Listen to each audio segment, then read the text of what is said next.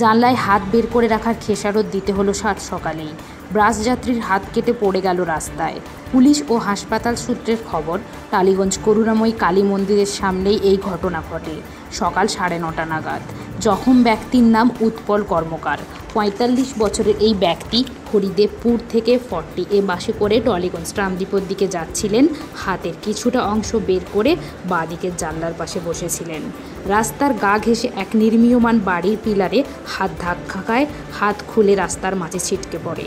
ব্যক্তি সাথে সাথে অচৈতন্য হয়ে যায়। তাকে এএমআর বাঙ্গুর হাসপাতালে ভর্তি করা হয় বলে জানা যায়।